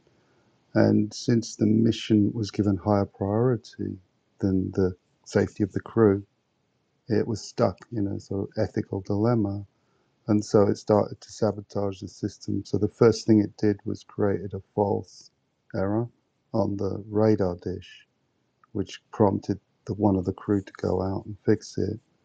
And then they found, oh, you know, maybe it was a false positive for the error, and then they wouldn't let him back in. Blah blah blah. So you're correct. That that's ultimately it was a ethical conflict, which which Asimov had already written many short stories exactly about that, where what happens when you give computers different conflicting directives.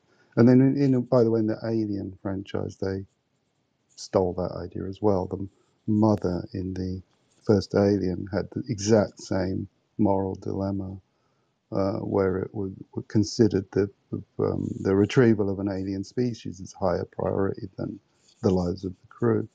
Same thing.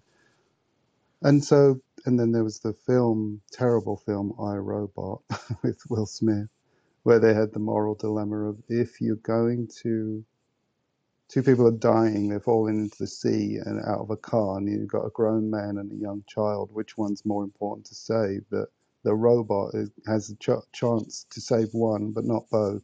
Which one should it go for? And so there's so many moral dilemmas like that. And it's the same with auto, you know, auto self-driving cars. you're gonna you're gonna run into a pedestrian. What what do you do? Do you run? Do you turn left and hit the old granny, or do you turn right and hit the, the baby? What what do you do? There's so many difficult moral choices, which I you know I'm glad I don't work on those uh, programs because it's so difficult. And to Brian's point, you know we, we need ethics.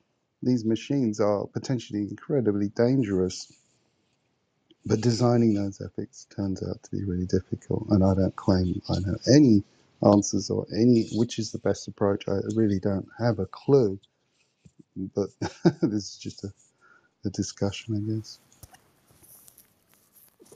You know, maybe I can play the devil's role here. Uh, I think you know, with the advancement of uh, technology, humans might finally free from you know repetitive work and uh, have more freedom uh, in the near future. Uh, not uh, instead of thinking being destroyed by uh, by the, the, current advancement. I actually think it, it's it, it very likely to be a good thing for uh, for mankind.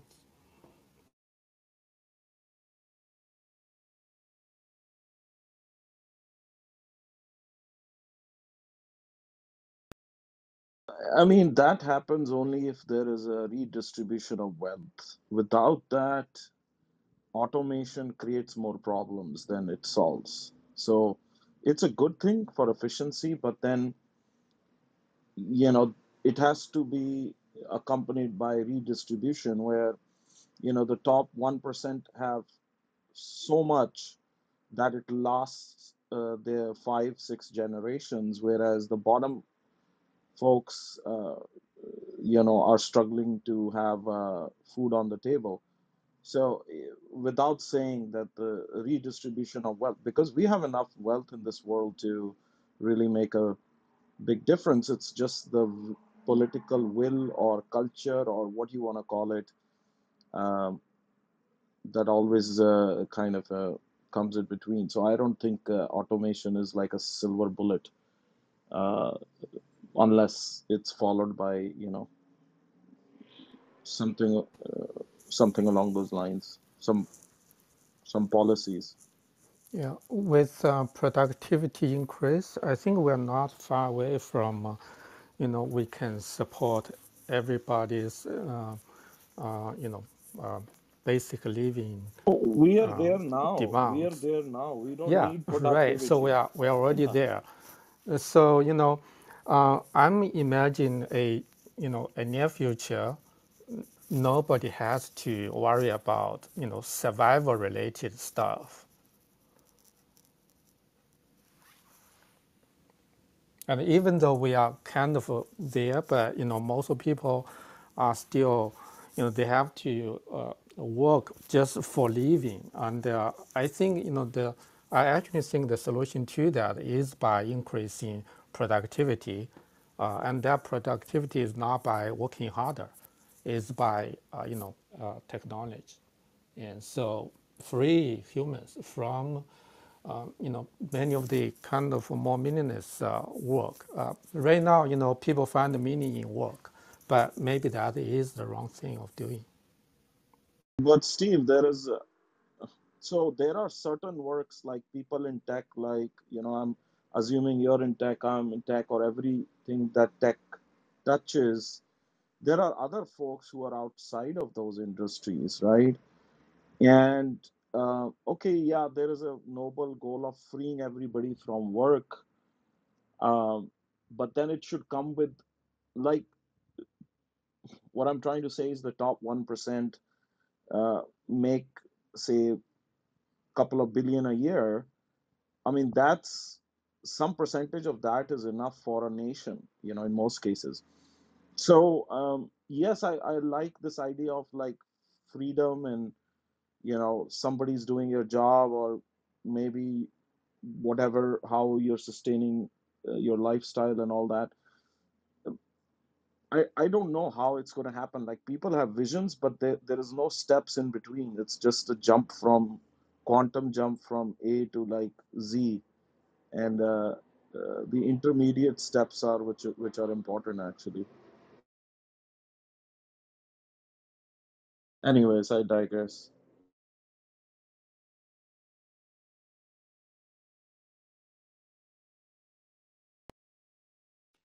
Yeah i think it's an interesting discussion and um, i think the the the importance of discussing all these different issues um, is really, you know, we we we should do that more also in public, and I would like to see politicians discuss these type of topics more. How do we implement? How do we regulate AIs, robots, and so on, automation in the future? to have like still economy because also for governments you need um, income tax to kind of afford uh, also their jobs, politician jobs at some point. And if everyone, everything is automated, um, you know, all restaurants and, and everything, you know, those are the people that actually pay taxes, right? It's the, it's not necessarily the Google or Amazon, Jeff Bezos Right, is, you know, right, the everyone stupid person that goes to work every day. And uh, yeah, if, if nobody makes, you know, has an income anymore, they don't have a job anymore. Like nothing works. So there has to be a regulation. But I feel like it's very similar to what everything happens there's like some emergent recession then going on. I don't know, like income tax uh, breaks down completely at some point, and then we will make some weird, you know, patchwork uh, to fix it, and that's then what we go with, and not like real plans that were discussed and you know made in a sensible way. W- what do you think? I, I feel like that's always what we do. Yeah, it's it, it- I think uh, uh, in the other room that I go into, Sav, and he, he that's his point that I'm making here is uh, he says a cultural change is needed, right? Like um, one example I'll give is Apple CEO Tim Cook, when all these uh, layoffs with tech started happening, Apple hasn't had a single layoff. Uh, he took, I think, 40% or 50% pay cut.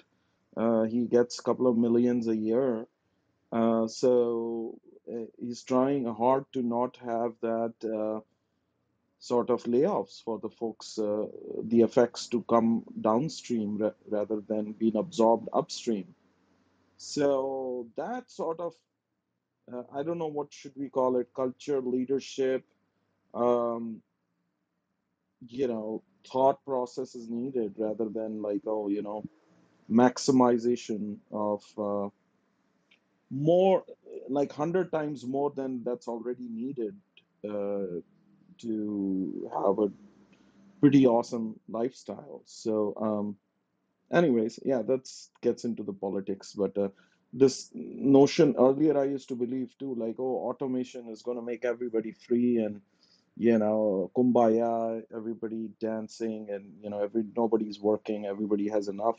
But it should come with this also, right? I mean, if systems are taking care of the work we were trying to do now uh, that distribution of wealth has to you know as you said governments are there they have to run taxes are there you know?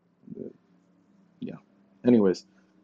Yeah, I, I agree that there has to be a shift of, you know, how you identify yourself. A lot of people, at least in the US, identify very much with their profession and, you know, that's kind of who they are, which I think will be easier in other countries where the the happy moments of life are mostly free time and not your work.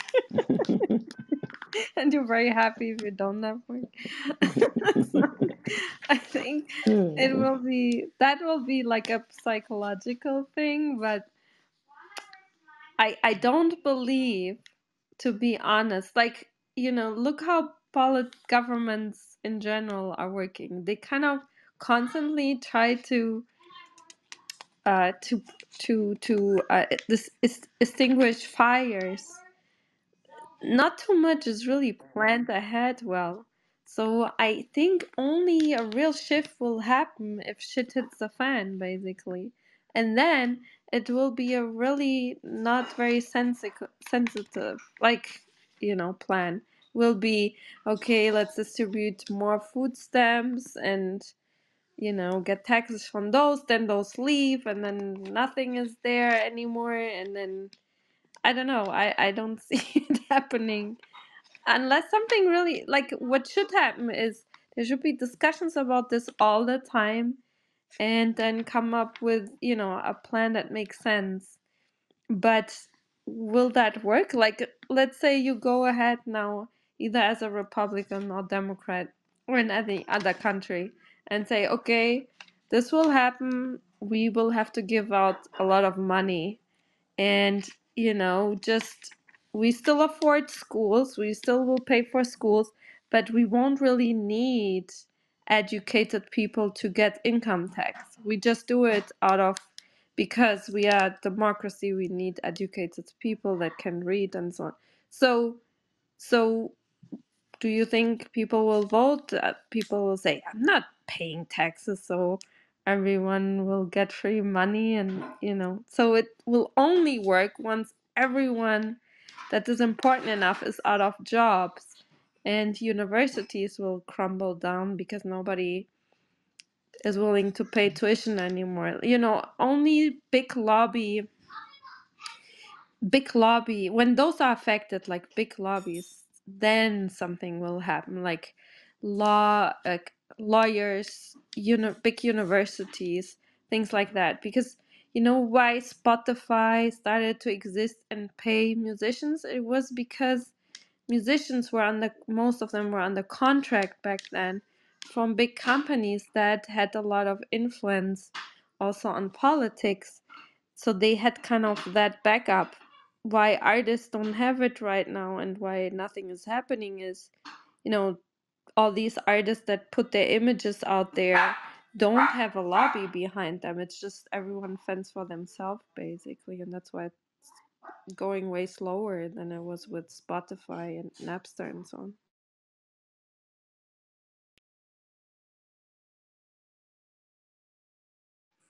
I don't know. Does anyone have something else they want to share and add if not We'll uh we'll close the room soon. I'll have to get around to get dinner, but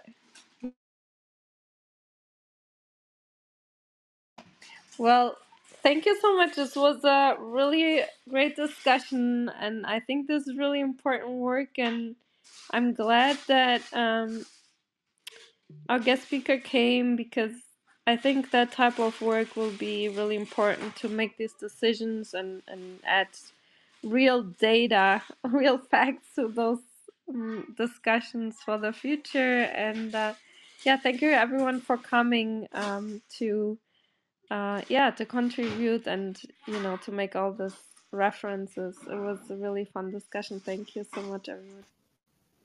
Yeah, thank you so much for organizing, Katarina. Yeah, and yeah, if you like discussions like this, as you know, uh, come back uh, next week on Wednesday. We'll have Dr. Klein and how stem cells decide to die or regenerate. There's kind of a switch, and uh, the the scientists will Dr. Klein will talk about that switch and how to influence that. So, uh, yeah, thank you. Sorry for the background noise and happy weekend, everyone. Thank you. Bye.